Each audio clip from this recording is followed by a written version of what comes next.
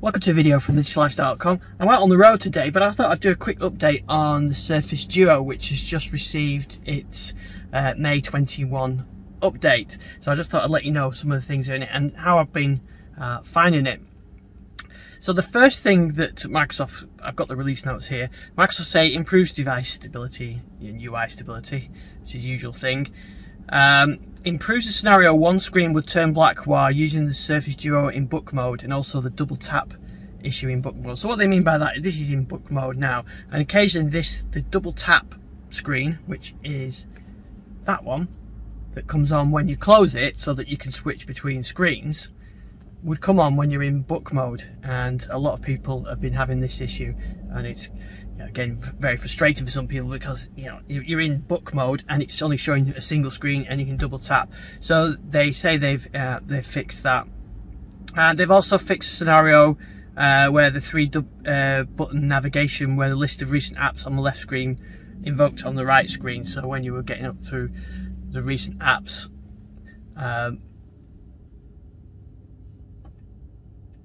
So when you were getting through the recent app screen, it would appear on the wrong the wrong screen. I, I haven't had that issue. I have had the book issue where um, it would come up single tap, you know, double tap to, to switch screens over backwards and forwards.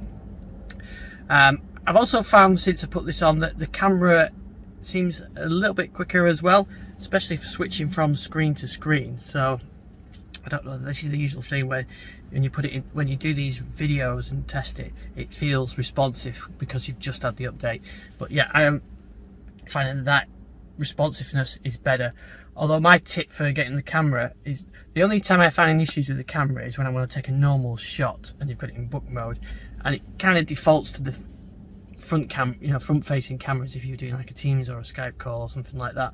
Um, I always if I want to take a picture, just like a normal picture, I always put the, the phone in the single screen mode like that and then launch the camera and then it works every time uh, within the right screen. But like I said, you can do the old double tap to switch around, but that's, that's my tip on the camera.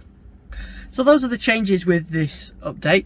Uh, I still love the Surface Duo, it's a brilliant phone. Um, I, I use it all the time.